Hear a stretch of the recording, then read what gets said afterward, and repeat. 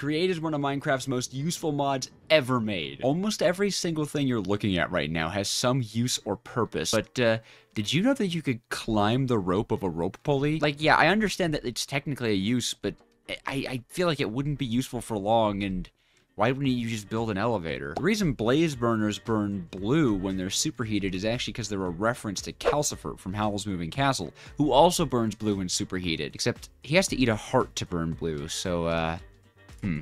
Maybe, maybe best stay away from that. Something that was actually shown off in the trailer for Create, a basin that is turned upside down on a contraption will spit its item out, which Truly, why would you do that? Deployers being able to do anything a right click can do do have the ability to use a wrench to wrench create objects, and this is a double weird thing because you actually can't put a wrench directly inside of a deployer. If you want automated wrenching, you actually have to hopper it into the deployer because there's no way to actually right click it with one. Did you know that blaze burners actually give off a redstone comparator signal? Uh, nothing when they're smoldering, a level of 2 when they're heated, and a level of 3 when they're superheated. Ultimately, this is pretty pointless because it doesn't actually increase with how much time they have left in them, so you get no other information except for the fact that it's currently on. Much like a slime block, the slimy side of a sticker is actually bouncy. But if you fall from a great height, unlike a slime block, you will actually still take fall damage when bouncing on the sticky side. Waxed weathered copper shingle stairs is the longest item name in Create. An upwards facing encased fan blowing at at least 30 RPM can actually lock a mob's pathfinding. No matter what, this hovering chicken cannot get to me. Now you might be thinking how useful that sounds for Sorry about the misinformation. It's 31 RPM. That is my bad. But you might be thinking, okay, villagers, so useful, right? No, villagers need pathfinding to be able to actually target their positions, so all this is is just a way to lock a mob down. Another thing that kind of sounds like it should be more useful than it is, is infinitely slow RPM. You see, there's no bottom limit on how slow something can go, and it's hard to see, but if you really get close up to it, you can see this cog is actually moving. Now, you can actually run machines off of this. If I were to put an iron ingot underneath of this press, it will technically begin to press, but uh, I don't really think it's quite worth it. Now, the only possible way this could be useful is the fact that fans actually have to blow a minimum of three blocks, which, by the way, it does look kind of funny to have basically a stationary gear powering a fan moving that fast, but honestly, is the difference between 0 SU and 2 SU that much? Because even a fan going at 1 RPM still only takes 2 SU. If you were to do that off of a large water wheel, you could still run 256 fans, and really what's the difference between infinite fans and 256 fans? If you are obsessed with infinite fans, may I direct you to the theoretical limit for the amount of fans that can affect one item stack at once. To make this work, you would have to get the item stack perfectly in the center connection between between these four blocks and have each of the fan exerting the same amount of force so the item would kind of hover in the center. This is, of course, completely impossible to do without mechanisms that would honestly take longer than just using 10 fans, which is the actual practical limit. And speaking of a practical limit, this list took me over a week to compile, and this set and script many hours, so it would be really helpful to me and my sanity if you could subscribe to the channel and check out some of my other stuff. In lieu of my faked sanity, let's check out some stuff stuff you can actually fake with the Create mod, starting with crushing wheels. These are just crushing wheels on mechanical bearings. Honestly, I was actually surprised that these don't work. I, I surely thought they would, but uh, nope.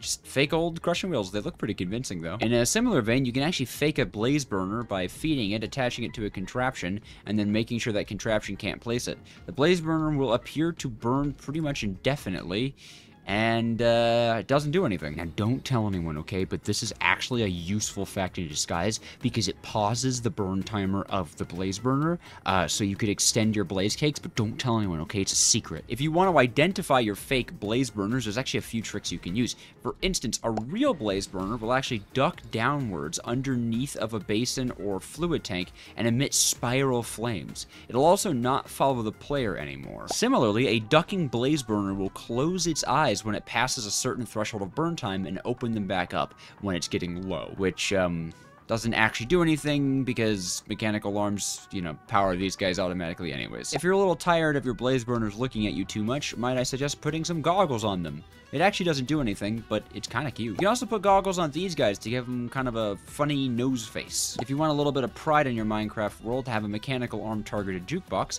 power it, and you'll get a nice rainbow dance. This next fact was supposed to be that you could have two minecarts on a single minecart contraption, which just kind of makes them freak out, but uh, I didn't understand it made them freak out to this degree. Interestingly enough, it, it, you can still stand on the actual minecart contraption. Like, the hitbox is here. I don't know what is doing this. Uh, let me know in the comments if you've ever seen this before. For now, I'm gonna stop the... Oh. Oh. Okay. It's there forever. You probably do know this because I've told absolutely everybody, but blaze burners will actually eat eggs because, you know, they're Calcifer from Howl's Moving Castle. If you want a super useless fact with it, in the fabric version of Create, the eggs can actually still spawn chickens. Although I and some of my community members did use that useless fact to create the world's smallest possible self-sufficient level 9 steam engine, which this one actually is. It's not running right now because it requires 1.5 thousand chickens to be right here, and slows your game down to a crawl. There is a random setting on brass tunnels. Why is there a random setting on brass tunnels? What does this do? Minecart couplings. Just just minecart couplings. As many of you may know, you can right-click a water wheel with planks to change its color, but did you know that a deployer could technically automate that for you if you set up a little system? So you could have a rainbow water wheel alongside your rainbow uh, jukebox dancing uh, mechanical arm. You can encase chutes, but only with industrial iron, which just kind of makes bulkier looking chutes, and actually emulates the diagonal chute, but you can't encase it with anything else, so it still just looks like a chute. Another useless thing you can do with them is waterlog them, which, like, I understand is a decorative thing, but it doesn't actually cause the particles that come out of them to wash, even if you did have a fan down there. So, it's just a wet shoe. While I was researching the technology behind the chicken core, which you should check that video out, uh, I found out there's actually code for extinguishing a blaze burner with a splash water potion.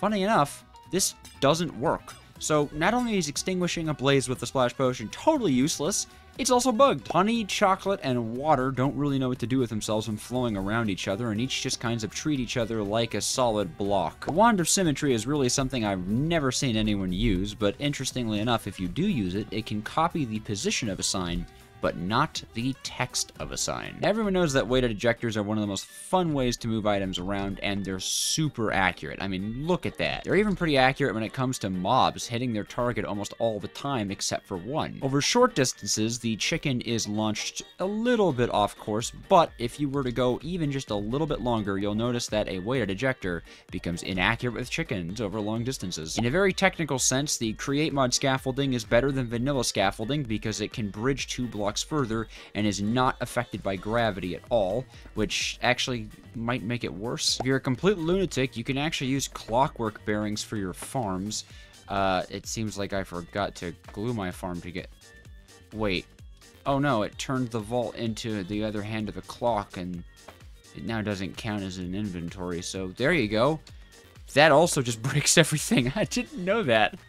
Pretty sure that was glued to the contraption, by the way, so uh, yeah, the more you know. As funny as it is to theorize, you actually cannot have a deployer power itself with a hand crank. Unfortunately, you would need three deployers running at two times speed, which requires way more than 256 SU. Using a radial chassis and a hatred for all things nice and good in this world, you can create very cursed-looking floating windmill sails because they will actually connect to the glued side of a chassis. So that's pretty horrible. Now the potato cannon is pretty useless in its own right, but did you know that it shoots more than potatoes? In fact, it shoots even more than just vegetables like its tooltip claims. It'll shoot fruits too. Golden carrots do the most amount of damage in a potato cannon, with beetroot doing the absolute least. Golden apples or enchanted golden apples will actually give their potion effects to their victims instead of dealing any damage, but they make the cooldown last very long. Baked potatoes will set your enemies on fire, and poisonous potatoes will poison them. Perhaps most importantly, pie will splat on the enemy. It doesn't really work that well on the dummy, but you can see how it sticks to them and runs down them, all of those old cartoons. It also comes with a special sound.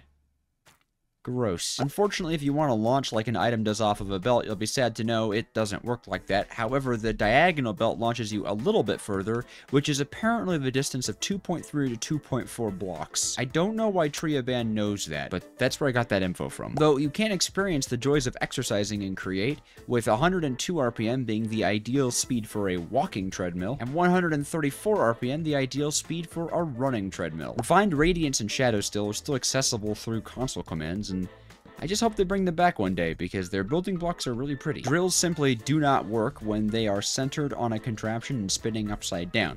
Drills absolutely work while upside down, even on a spinning contraption. I can show you like so. Just gotta glue these guys together and you'll see the truth of things. Boom. Working just fine. Not you never you. Similarly, a upwards facing drill centered on a contraption has some inconsistencies in when it begins breaking a block, and you can totally screw it up by breaking the block before it. Much like stickers, honey and chocolate do not protect you from fall damage. Weirdly though, they push you faster than a water stream does, which well, just really doesn't make any sense at all. A campfire, while on a contraption, loses its animation, light, and damage, but still emits smoke into the air. Despite having the power to melt cobblestone into lava, a superheated blaze burner cannot deal damage to the player. Uh, presumably, this is actually create lore in that blazes are considered housed and employed by the player when placed in a blaze burner, so they wouldn't hurt you even if they could. And for final fact number 50, you can now tell your friends you know 49 useless facts about Create. I just want to use this time to say thank you so much to the members of this channel. They are helping this channel and me become closer and closer to becoming a full-time content creator. So if that's something you'd be interested in, subscribe and become a member.